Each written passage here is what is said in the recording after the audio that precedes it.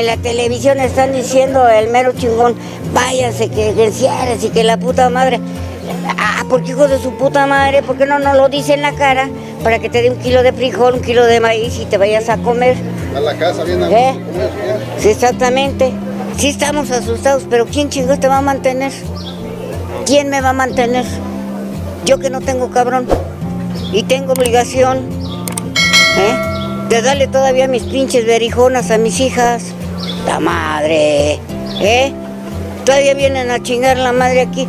Mira, se está cayendo el agua, pongo un bote, vienen y se enojan que porque pongo el pinche bote allí. Oiga señora, vemos que ahí también tiene, tiene huevos, también son para aliviar a las personas. Huevos también yo. Eh, mire, esos huevos son para curar, para ser limpias. ¿Y no se pueden comer o...? No, son para ser limpias. Ah, creencia de gente pendeja. La mera neta, mano.